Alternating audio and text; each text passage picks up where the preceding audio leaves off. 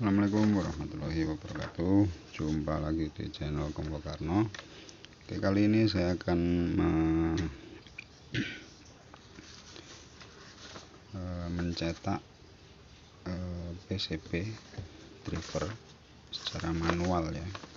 Jadi ini akan polos. Nanti akan saya cetak menjadi seperti PCB driver.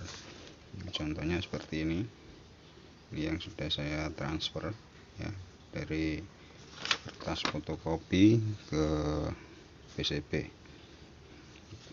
oke bahan yang kita butuhkan yakni eh, layout PCB ya, layoutnya kita print dari laptop. Setelah itu kita fotokopi. Contohnya seperti ini. Nah ini print-printan dari laptop atau komputer lalu kita fotokopi seperti ini. Nah, jadinya seperti ini fotokopinya.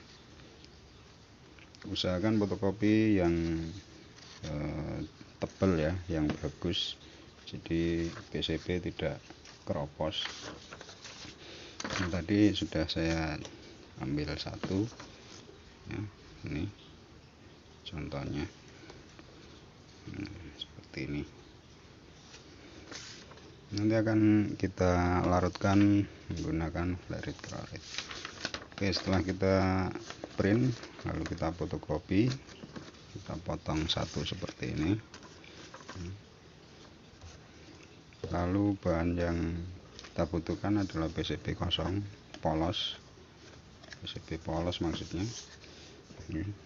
Lalu anti nyamuk obat anti nyamuk lalu botol untuk pencampur dengan air nanti. Jadi anti nyamuk ini kita campur dengan air ya. Itu nanti kita semprotkan. Terus selanjutnya tahap pertama eh, bersihkan dulu PCB dari kotoran. Ya, kita gosok dengan tas gosok seperti ini.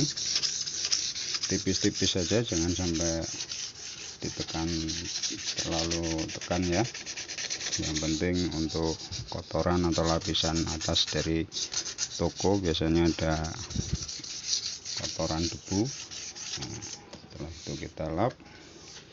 Dan seperti ini ya gunakan kertas gosok yang halus. Oke lalu kita siapkan untuk uh, autannya kita singkirkan dulu caranya seperti ini.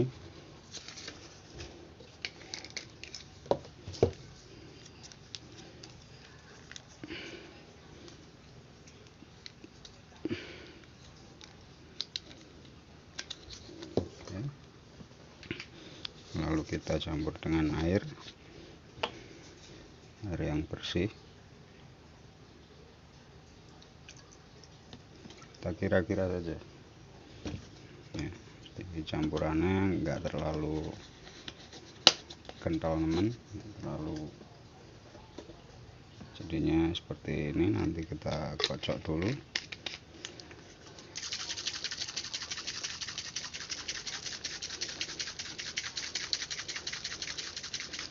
Oke setelah larut seperti ini ya. Nah, seperti ini larut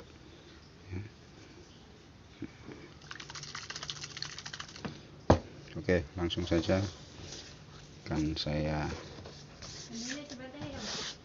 coba untuk mentransfernya ke PCB ini.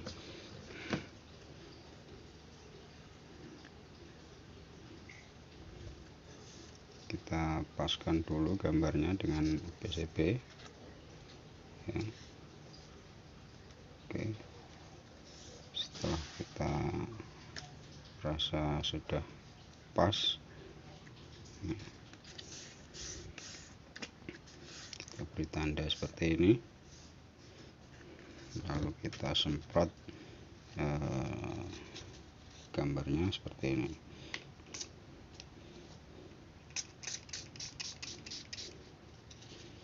Sampai basah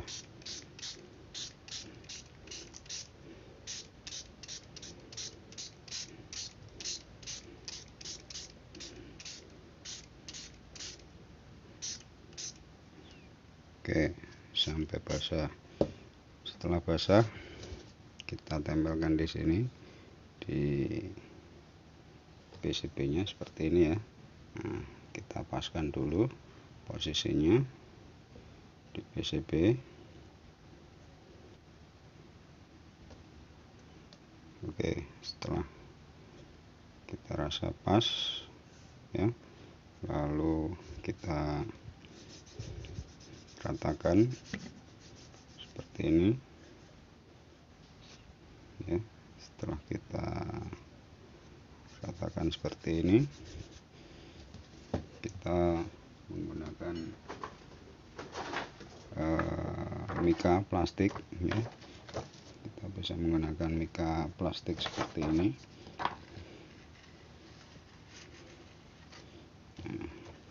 Lalu kita gosok untuk menggosoknya kita bisa memakai uh, apa saja. Kita gosok seperti ini. Sampai merata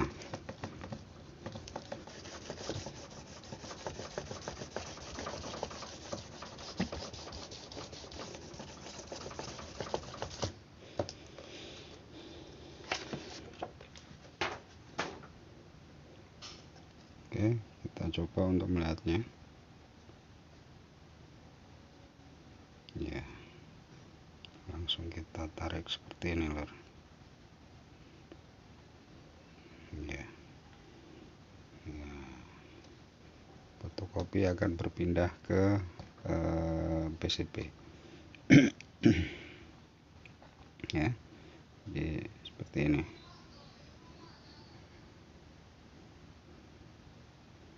ya. kita tarik pelan-pelan oh, masih ada yang enggak lengket ini. Mungkin nanti untuk yang tidak lengket bisa kita tambahkan uh, dengan uh, menggunakan spidol permanen. Ya. kita angkat seperti ini kertasnya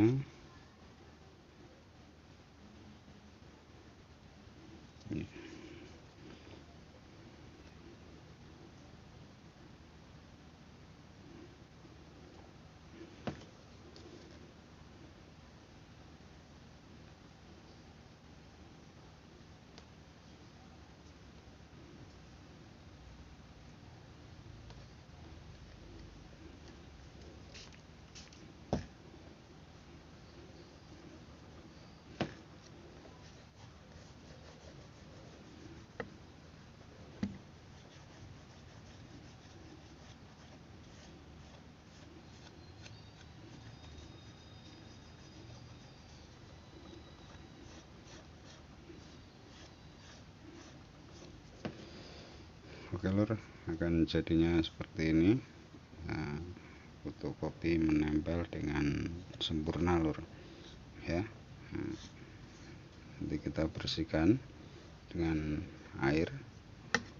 Untuk yang nah, seperti ini ada sedikit celah ya. Ini karena fotokopinya juga kurang bagus tadinya ya. Kita bisa menutupnya dengan spidol permanen lor nah, maka akan jadi seperti ini lor tinggal kita larutkan ke larutan ferrit klorid maka akan jadi PCB driver. Oke lor cukup mudah saya kira. Silahkan dicoba untuk di rumah